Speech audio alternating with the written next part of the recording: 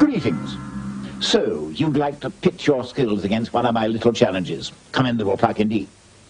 Well, I've decided to be gentle with you, this being our first coming together.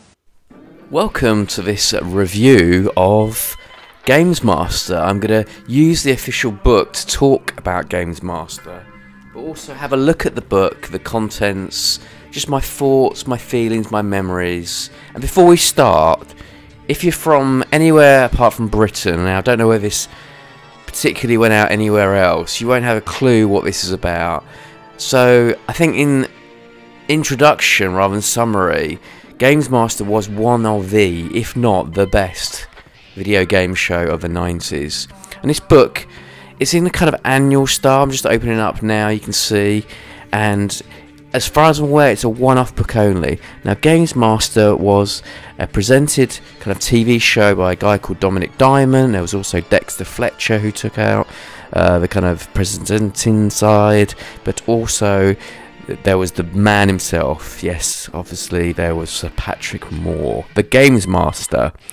Um, so a little introduction there. Welcome, dear reader, to a book of the show. Gives you a little bit of a background. Talks about the show itself, and then we get into Dexter. So uh, Dexter's just recently, I think, directed or produced the Rocket Man movie. He's obviously done other stuff, um, which you'll be familiar with, and he presented this. Now, getting into it, um, it's a very, very like easy thing to go through everything. I'm just going to pick out some key highlights, and we've got the top 10 games of action, and they chose Street Fighter 2. So there you go. Don't know what you think about that. Um, going into the next spread here and uh, just flicking these pages through. Talks about the Games Master himself, Mr. Patrick Moore, and what he did within the program. It was pretty cutting sometimes, but that was funny because, like, you know, some of us were teenagers at the time, young adults. And uh, yeah, some sports games here. Sensi Soccer, so it's very British. You can see some of the uh, slightly contentious things. Road Rash 2, I think that should have been higher up. We can all argue about some of these in the comments, I'm sure, and ones that should be in here as well. They missed out some crackers actually later down. Um, cheats, so very useful to get some cheats in on the annual as well.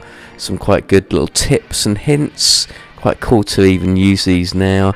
Um, Castle Illusion came up the other day. It's a little kind of tip there, and we've got James Pond 2 and Double Dragon. So yeah, some nice little cutie tips there, which could come in handy.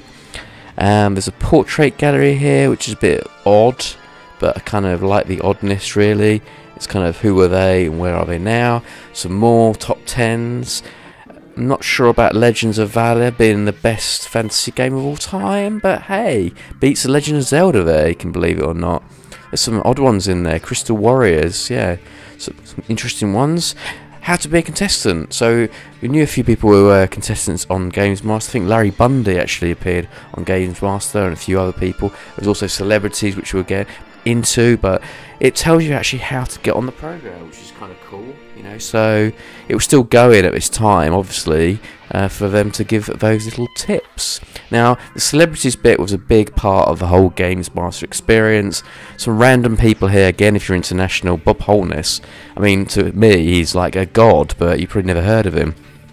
Then you've got the consolation zone, so you know, got uh, some little kind of things for people, not tips so much. It's like, how can I beat this? How can I beat my friend at Game Boy Tennis? How can I get past this person? So there was a little bit there. Back into they, they wasted or they used a lot of pages up with these top tens. It's quite a cheeky little thing. Platform games absolutely smashed uh, Sonic 2 there. Whoops. Super Mario Land totally wiped it out. Uh, Kid Chameleon, some other ones there. Flicking through quickly here. Also got uh, some challenges here and some scores. Again, Sensi appears very high there in the scoring number one at 91%. Flicking through, got some more stars. Ian Wright used to play for England Arsenal. Linford Christie, who's obviously a uh, marathon runner. What am I talking about? He's a sprinter. Oh my goodness. Ulrika Jonsson there. Again, some of these people you probably never heard of if you're outside of the UK.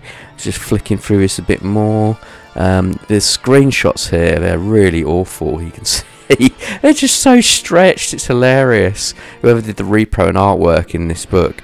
Sorry if you did and you're commenting, but yeah, those pictures are damn crazy. All-time greats, shoot 'em ups.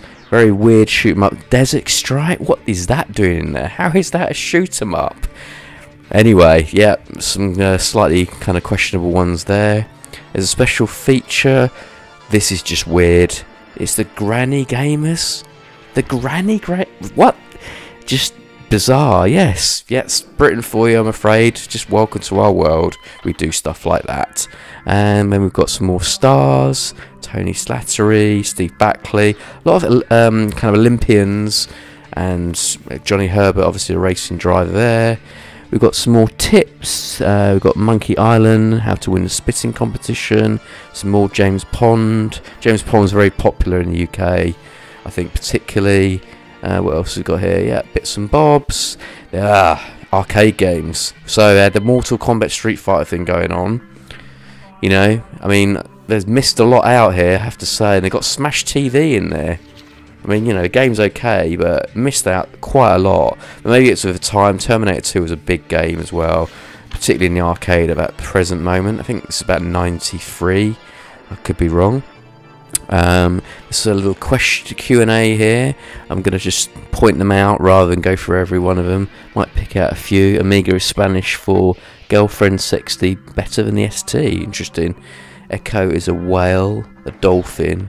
Ecco is a Ecco is a some very weird questions here. Road Rash is a top game by Ocean, a top game by EA, a rather embarrassing complaint suffered by cyclists. Hmm. Anyway, there's all the answers there. I'm not going to uh, give all those out now. Then we've got the fantasy challenges, which is a bit of a weird spread. So, kind of, I think it was just yeah made up stuff as usual. The awards, um, which they did obviously on the show itself. So grumpiest character, Ryu. Best ears, Sonic the Hedgehog. Got wimpiest, thickest character, easiest game. Hyperstone Heist. I think it's easier games than that. Battle Squadron.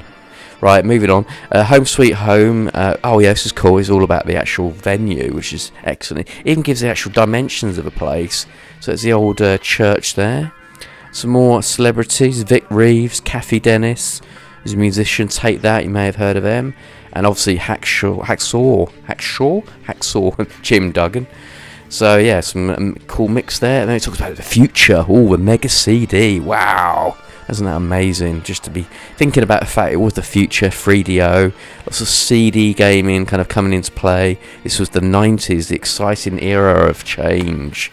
Or maybe not for some people, because often many people just like carts. Then we're just kind of summarising it all up. We've got uh, a little competition uh, which you could write into and win stuff, which is what they used to do back before the internet. So there's the book. Hope you enjoyed this. Hope you enjoyed Games Master. Maybe leave some comments about Games Master itself, and uh, I'll try and do a few more of these in the coming weeks. Thanks for watching.